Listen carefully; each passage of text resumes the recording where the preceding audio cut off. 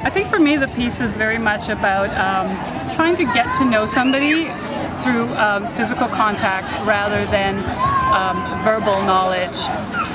I also really um, wanted to see how people would react if I kind of tried to be generous with them just to see how generous they would be with me. Um, a lot of the, the work that I'm thinking about, a lot of the things that I'm thinking about come from my time dancing tango. I've been dancing tango now for about 13 years and um, often you'll go to a strange city and you'll go to a, a, dance and you will go onto the dance floor with somebody who you don't know. You will dance for 10, 12 minutes and you may not even know their name.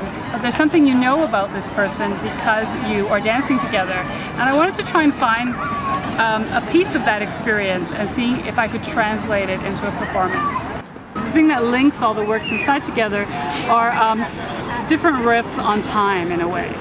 I don't think the works are always particularly about time, but they're all connected through different ideas of, um, of time and taking something that is normally thought of as linear and trying to kind of mess with that a bit. And that will include um, the performances. We're going to have a bone hunt for kids and adults, and we're going to have a watermelon picnic. What's a bone hunt? Well, as you like, can, when you go inside, uh -huh. you will see a giant pile of handmade porcelain bones. There's about 8,000 of them. So we're going to take a handful of them and we're going to hide them in different places around the park, and people have to go find them are you prepared to not get them all back? Or? Oh yeah, I mean it'd be really fun. I mean I think we were, I was talking to someone tonight and they're like, you should hide some really well so that maybe like a year or two from now somebody finds it and is like, oh my god, look at this. Or in 50,000 years from now well, somebody finds maybe, them and yeah. thinks there was a race of porcelain people.